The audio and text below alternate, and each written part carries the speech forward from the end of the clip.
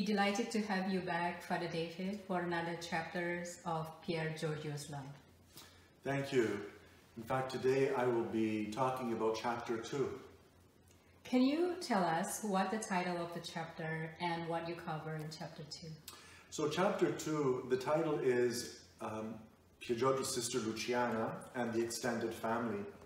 And in this chapter, I'm looking at the different family dynamics, the relationships that Pier Giorgio has with his different members, especially apart from Luciana, his uh, maternal aunt and his maternal grandmother.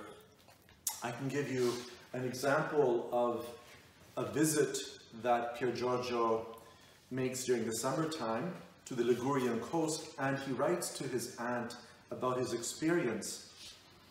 In this August postcard-sized letter, Pier Giorgio expressed similar sentiments of longing for his Zia Elena's company, namely that he was sorry she could not join them to go swimming. The 13-year-old Pier Giorgio, swimming in the waters of the Ligurian coast, wished to share his excitement and joy, thinking about his aunt, whom he knew also liked swimming.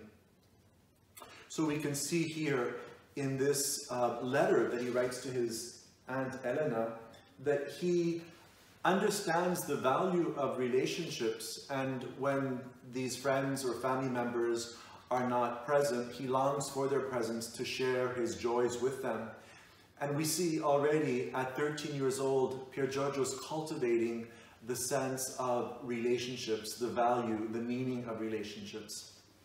Well, thank you, Father, for giving us a synopsis of chapter 2. This is a helpful way to explore Pier Giorgio from his childhood experiences. My pleasure. I'm happy to share my knowledge of Pier Giorgio with you.